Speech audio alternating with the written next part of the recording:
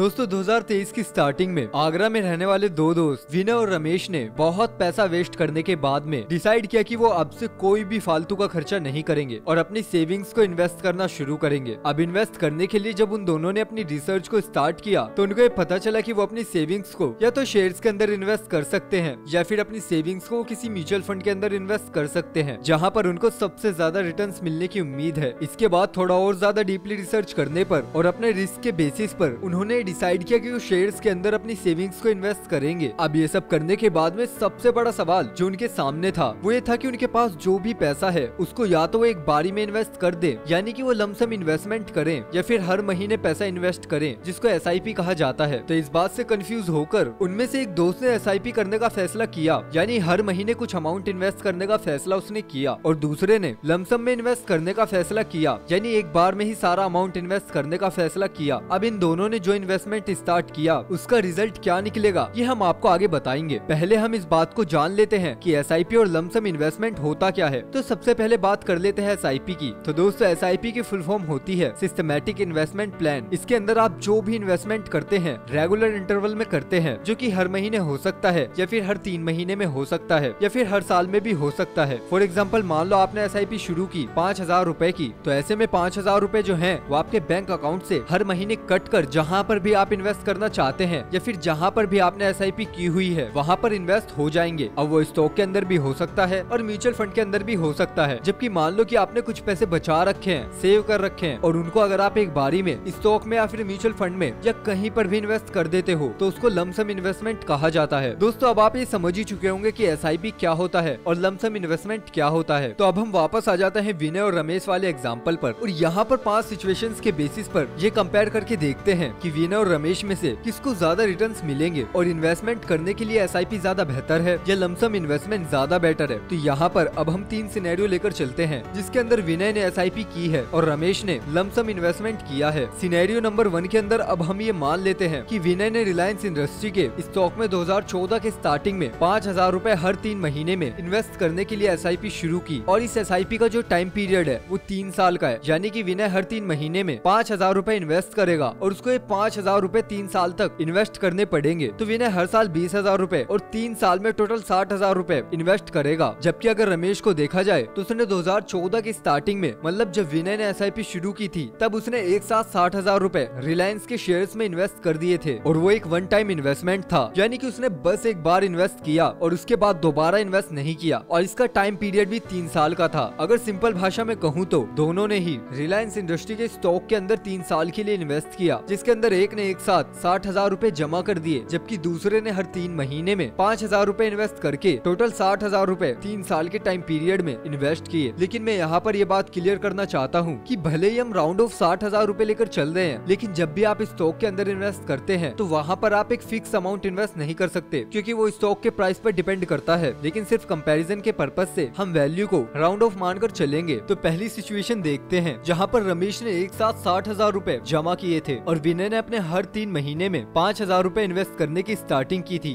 तो इस सिचुएशन में अभी जो आपको स्क्रीन के ऊपर चार्ट दिखाई दे रहा है तो इसके अंदर आप देख सकते हैं कि फ़र्स्ट जनवरी 2014 को स्टॉक का जो प्राइस था, यानी कि रिलायंस इंडस्ट्रीज़ के स्टॉक का जो प्राइस था, वो चार सौ था। अब क्योंकि रमेश ने लमसम इन्वेस्टमेंट की है तो इसीलिए उसकी जो एवरेज बाई प्राइस होगी, वो चार सौ चालीस की आएगी। वही पर दूसरी तरफ़ के टेबल में आप देख सकते हैं की क्योंकि शेयर का जो प्राइस है, वो डेली चेंज होता रहता है। तो विनय ने जो इन्वेस्टमेंट करी है, उसकी जो एवरेज बाई प्राइस है, वो हर बार अलग अलग है। बट अगर हम इसका एवरेज निकाले तो फोर सेवेंटी वन रूपीज निकलता है। अब क्योंकि रिलायंस इंडस्ट्रीज़ के स्टॉक ने 2014 से लेकर अगले तीन साल तक जो मूव दिया था, वो एक अच्छा ट्रेड का मूव था, जिससे कि यहाँ पर हमें एसआईपी करने का कोई भी फ़ायदा नहीं हुआ। और जिसने लमसम इन्वेस्टमेंट किया, उसको ज़्यादा फ़ायदा हुआ। क्योंकि जब हमने एस की थी, तब शेयर का प्राइस बढ़ रहा था। तो हमें जो शेयर था, वो थोड़ा महँगा मिला। और हमारी जो एवरेज बाई प्राइस थी, वो फोर सेवेंटी हो गई। अब थर्ड ईयर के एंड में अगर स्टॉक के प्राइस देखें तो फाइव थर्टी सिक्स रूपीज तक पहुँच गई थी, जिससे ओवरऑल रमेश ने थर्टीन पॉइंट एट परसेंट के रिटर्न जनरेट करे, जो की रमेश से काफ़ी कम है। तो यहाँ पर लमसम इन्वेस्टमेंट करने पर ज़्यादा फ़ायदा हुआ, अगर कंपेयर किया जाए एसआईपी से। तो लेकिन ये बस फ़र्स्ट सिनेरियो था। सिर्फ़ इसी के बेसिस पर कंक्लूजन पर जाना बेवकूफ़ी साबित हो सकती है। अब बढ़ते हैं सेकंड सिनेरियो की तरफ़, जहाँ पर विनय ने टाटा मोटर्स के स्टॉक में 2015 की स्टार्टिंग में चार साल के लिए दस हज़ार रूपए महीना की एसआईपी शुरू की थी। अब ऐसे में चार साल के अंदर जो टोटल विनय इन्वेस्ट करेगा, वो होगा चार लाख अस्सी हज़ार। जबकि रमेश ने 2015 की स्टार्टिंग में एक साथ ही चार लाख अस्सी हज़ार रूपए इन्वेस्ट कर दिए, यानी कि फिर से विनय ने एसआईपी की और रमेश ने लमसम इन्वेस्टमेंट कर दिया चार लाख अस्सी हज़ार का। अब अभी जो आपको स्क्रीन पर चार्ट देखने को मिल रहा है, जिसके अंदर आप देख सकते हैं, क्योंकि इस टाइम पीरियड में टाटा मोटर्स में एक डाउनफॉल देखने को मिला है तो आप रिज़ल्ट के अंदर भी इसको देख पाएँगे कि रमेश को ओवरऑल माइनस 64.50 परसेंट के रिटर्न मिले हैं। वहीं एस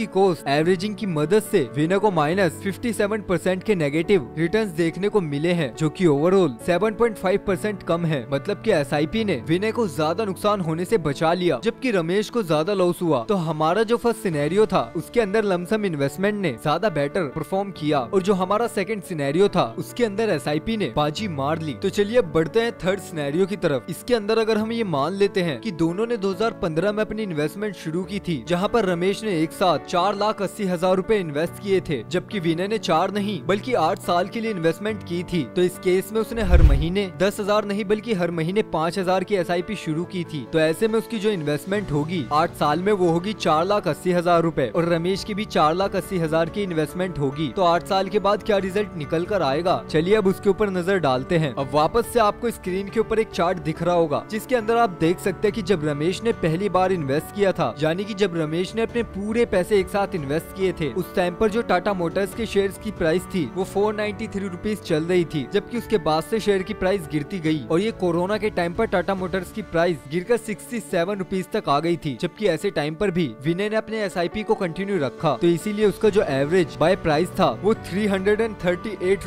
निकल कर आया, जबकि रमेश ने एक बारी में ही इन्वेस्ट किया था। इसीलिए उसका जो एवरेज बाय प्राइस था, वो four hundred and ninety three निकल कर आया। तो क्योंकि रमेश ने एक साथ ही अपना पैसा इन्वेस्ट कर दिया था। तो यहाँ पर एडजस्टमेंट का कोई भी चांस नहीं था। प्राइस गिरा था तो इससे रमेश को कोई भी फ़ायदा नहीं हो रहा था, जबकि विनय यहाँ पर एसआईपी कर रहा था तो उसको प्राइस गिरने का भी यहाँ पर बेनिफिट हो रहा था। और यहाँ पर उसका जो इन्वेस्टमेंट अमाउंट था, वो एडजस्ट होता जा रहा था, जिसकी वजह से विनय को शेयर की प्राइस गिरने का भी फ़ायदा हुआ। और जब प्राइस बहुत ज़्यादा गिर रही थी, विनय तब भी बाय कर रहा था तो उस टाइम पर वो ज़्यादा मात्रा में बाय कर सकता था। तो यहाँ पर अगर हम दोनों की इन्वेस्टमेंट को करंट प्राइस से कंपेयर करें, जो कि जिस टाइम पर हम इस वीडियो को रिकॉर्ड कर रहे हैं, वो छह सौ एक रूपए चल रही है। तो इस केस में लमसम इन्वेस्टमेंट ने आठ साल इन्वेस्ट करने के बाद सिर्फ़ हमें एक लाख पाँच हज़ार एक सौ बावन रूपए का रिटर्न दिया, जो की हमारी इन्वेस्टमेंट पर बाईस परसेंट का रिटर्न है। जबकि एस आई पी के केस में सेम उन्हें आठ साल के पीरियड में दो लाख बहत्तर हज़ार का रिटर्न मिला, जो कि हमारी इन्वेस्टमेंट पर छप्पन परसेंट का रिटर्न है। तो इन सब सिनेरियो को एनालाइज करके हमें यहाँ पर ये पता चलता है कि जहाँ पर आप अपने इन्वेस्टमेंट को लेकर फुल्ली श्योर हैं और आपने तब इन्वेस्टमेंट करी है जब शेयर का प्राइस अपने लो पर था तो वहाँ पर लमसम इन्वेस्टमेंट बेटर है। लेकिन मार्केट के अंदर ये भी एक सच्चाई है की मार्केट को टाइम कर पाना बहुत ही ज़्यादा मुश्किल पता कर पाना की कब शेयर अपने लो प्राइस पर मिल रहा है, ये बहुत ही ज़्यादा मुश्किल है और बहुत बड़े बड़े एक्सपर्ट्स भी ये नहीं कर पाते। और क्योंकि एसआईपी आपको कोस्ट को एवरेज करने का मौका देता है तो ऐसे केस में एसआईपी ज़्यादातर बेटर रहता है। तो चलिए अब एक बार हम जल्दी ऐसी इन दोनों के एडवांटेज और डिसएडवांटेज देख लेते हैं, जिसके बाद में आप खुद डिसाइड कर सकते हैं की आपको एसआईपी करनी चाहिए या फिर आपको लमसम इन्वेस्टमेंट करना चाहिए। तो सबसे पहले एसआईपी के एडवांटेजेस की बात करते हैं। तो देखिए, सबसे पहले जो एसआईपी का एडवांटेज है, वो ये है की इसके अंदर हर कोई बहुत ही कम अमाउंट से इन्वेस्ट कर सकता है। अगर आप लमसम इन्वेस्टमेंट करेंगे और अगर आपको ज़्यादा अमाउंट इन्वेस्ट करना है, मान लो आप एक लाख रूपए इन्वेस्ट करना चाहते हो तो अगर आप एक स्टूडेंट है या आपकी अभी अभी नई जॉब लगी है तो एक साथ एक लाख रूपए इन्वेस्ट करना आपके लिए बहुत ही ज़्यादा मुश्किल होगा। लेकिन अगर आप चाहें तो हर महीने हज़ार या दो हज़ार रूपए इन्वेस्ट कर सकते हैं। तो एसआईपी के थ्रू इन्वेस्ट करना बहुत ज़्यादा इजी होता है और आप थोड़े बहुत पैसे से भी अपनी इन्वेस्टमेंट शुरू कर सकते हैं। इसमें दूसरा फ़ायदा है कि इसके अंदर आपकी जो कोस्ट है, उसको आप एवरेज कर सकते हैं। आपने ऊपर भी बहुत सारे एग्जाम्पल्स में देखा है की पहले जो शेयर की प्राइस थी, वो बहुत ज़्यादा थी। उसके बाद में प्राइस गिरी। तो जब प्राइस गिर रही थी, उस टाइम पर आपको ज़्यादा शेयर उस सेम अमाउंट में ही मिल जाएँगे। एक और एग्ज़ाम्पल दू तो मान लो पहले महीने आपको जो शेयर है, वो सौ रूपए के प्राइस में मिलता है। अब अगले महीने किसी भी रीजन की वजह से वो प्राइस गिरकर पचास रूपए हो जाता है। तो पहले महीने आपको सौ रूपए में एक शेयर मिलेगा और अगले महीने आपको सौ रूपए में दो शेयर मिलेंगे तो ऐसे में आपकी जो यूनिट है, वो ज़्यादा हो जाएगी और आपकी जो कॉस्ट है, वो घट जाएगी। और इसका तीसरा सबसे बड़ा फ़ायदा ये है की यहाँ पर आप एक डिसिप्लिन क्रिएट कर सकते हैं। अगर मैं आपसे कहूँ की आप अपनी सैलरी में से हर महीने पाँच हज़ार रूपए सेव करना या इन्वेस्ट करना शुरू कर दें तो ज़्यादातर लोग ये नहीं कर पाएँगे। लेकिन अगर आप चाहें तो अपनी एस को ऑटोमेट भी कर सकते हैं और ऐसे हर महीने पाँच हज़ार रूपए आपके बैंक अकाउंट से कटकर खुद ही इन्वेस्ट होते रहेंगे। तो एक बहुत ही अच्छा तरीका है जिससे आप पैसों को इन्वेस्ट कर सकते हैं और इससे डिसिप्लिन भी क्रिएट होता है। और अब इसके डिसएडवांटेजेस इसके क्या नेगेटिव पॉइंट्स हो सकते हैं? तो देखिए इसका जो एडवांटेज है यानी कि कोस्ट एवरेजिंग वही इसका डिसएडवांटेज भी है। मैंने आपको एग्ज़ाम्पल देकर बताया था कि, मान लो आपने सौ रूपए में आज शेयर खरीदा और अगले महीने शेयर का जो प्राइस है वो किसी रीजन की वजह से घटकर पचास रूपए हो जाता है तो आपको दो यूनिट मिलेंगी। यानी आपकी जो कोस्ट है वो कम हो जाएगी। लेकिन मान लीजिए अगर अगले महीने प्राइस बढ़कर एक सौ हो जाता है तो इस केस में आपकी जो कोस्ट है वो बढ़ जाएगी। जबकि अगर आपने लमसम इन्वेस्टमेंट किया होता तो आपने सौ रूपए में ही सारी यूनिट्स खरीदी होती, और ऐसे में आपको ज़्यादा फ़ायदा होता। तो ऐसा करने का सिर्फ़ एक ही नुकसान है कि अगर आपके बाय करने के बाद प्राइस बढ़ती चली जाती है, तब आपको महँगे में शेयर्स या म्यूचुअल फंड को बाय करना पड़ता है। तो दोस्तों, ये है एसआईपी के कुछ एडवांटेजेस और डिसएडवांटेजेस और अब, अगर हम लमसम के डिसएडवांटेजेस और एडवांटेजेस के बारे में बात करें तो देखिए लमसम में आपको पता है कि आप एक साथ पैसा इन्वेस्ट करेंगे। तो जब आप एक साथ पैसों को इन्वेस्ट करोगे तो वहाँ पर अगर आपने सही टाइम पर शेयर बाय किया, यानी कि ऐसे टाइम पर आपने शेयर्स को बाय किया, जब शेयर्स की प्राइस बहुत कम थी, या फिर अगर हम कहें कि अपने सबसे कम प्राइस पर थी, तब आपने अगर शेयर्स को बाय किया, तब आपको वहाँ पर ज़्यादा रिटर्न मिल सकते हैं, यानी कि लमसम इन्वेस्टमेंट करने का सबसे बड़ा बेनिफिट यही है कि अगर आप एक साथ पैसे इन्वेस्ट कर देते हैं, और आपने कम प्राइस पर बाय कर लिया तो आपको वहाँ पर ज़्यादा रिटर्न मिल सकते हैं। और अगर इसके डिसएडवांटेज की बात करें तो देखिए, इसका एक ही डिसएडवांटेज है की अगर आपने एक साथ सारा पैसा इन्वेस्ट कर दिया, और आपने गलत टाइम पर उस पैसों को इन्वेस्ट कर दिया तो ऐसे में अगर आपके शेयर की प्राइस गिरती है तो आपको लॉस होगा और आप बहुत लंबे टाइम तक लॉस में बने रहेंगे। जबकि अगर आप एसआईपी कर रहे होंगे तो वहाँ पर आप सस्ते में शेयर्स को बाय कर पाएँगे, जबकि लमसम में क्योंकि आपने एक साथ ही पैसा इन्वेस्ट कर दिया है तो आपको यहाँ पर कोस्ट एवरेज का मौका नहीं मिलेगा। तो अब क्योंकि आपको एसआईपी और लमसम के एडवांटेज और डिसएडवांटेज के बारे में पता चल चुका है तो अब आप अपनी फाइनेंशियल प्लानिंग के हिसाब से,